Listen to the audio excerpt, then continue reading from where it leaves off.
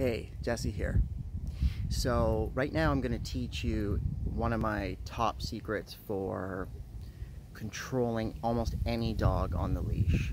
And the secret is in a non-verbal communication. It's in the style of an approach that one animal would make to another animal, uh, communicating its peaceful intentions.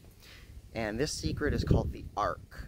Okay, so approaching any creature in an arc or any animal approaching any other animal in an arc is a highly conscious decision.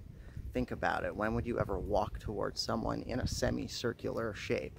Now, the reason why this is so powerful and why it is going to keep your dog from, it's going to minimize your dog from jumping and lunging and tugging you, is because it is the opposite of a straight line approach.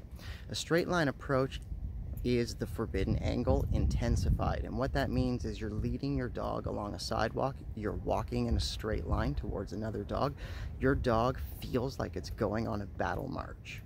It's very intense on its nervous system. So I encourage you to start approaching all other dogs when you're walking your dog in an arc and just watch how this magically calms your dog and calms the dog that you're approaching.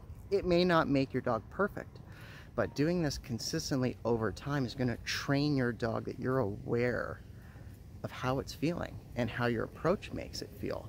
And this is going to deepen your relationship uh, with your dog, believe it or not. So go check out that video with Kira. There's one point where I'm on a path in the Cedarvale Park and it gets real sketchy because there's a bunch of dogs approaching us and you'll see how I maneuver through them in an arc and almost make Kira look pretty good. Try that secret out and let me know what you think.